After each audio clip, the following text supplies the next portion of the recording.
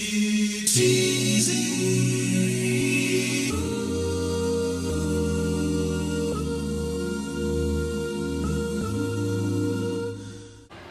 right, Jose. So I got to ask you: the first time that you saw yourself on MLB The Show, the video game, what did you think? It was pretty close. It was really good. Okay, so growing up, who were some of your favorite players? Uh, I gotta say Miguel Cabrera. You know, coming from from my same hometown and everything he has accomplished. You know, definitely he was like a role model to follow.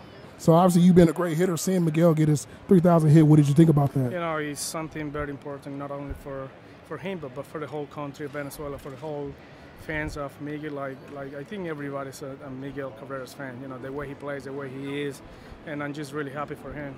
All right, so you look at this infield with you, Bregman. Now you got this young guy, Jeremy Pena. Can you talk about him? Oh yeah, he's great. You know, I think uh, he's gonna be really good. Uh, he got a lot of talent, but he's very humble. He wants to learn. He's, you know, he can run, he can throw, he can, he has some power. He showed us uh, last game. You know, going center field in Houston, it's not easy, and you know, I like, I like the player he is. All right, so you face a guy in this division that we probably call the Babe Ruth of our generation, Shohei Ohtani. When you see a guy that can pitch and bat, what do you think about that? I mean, it's unbelievable. You know, one thing is just you know think about it. Another thing is just when you actually come and watch him pitch and watch him hit. He can run. He can does everything. And you know, I'm happy that I get to see a guy like him playing. All right, last question.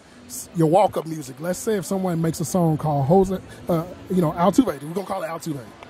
And you can pick any artist to do the song. Who would be the artist? Oh, that's tough. Oh my God. I don't know. I don't think I can answer that. I got to think about it. But you know, it's too many artists I like, and you know, a lot of those are my friends. I don't want to say one, and then Uh, the other I got gonna you. get. I got Yeah. you. All right, Jose, man. Well, good luck with everything, man.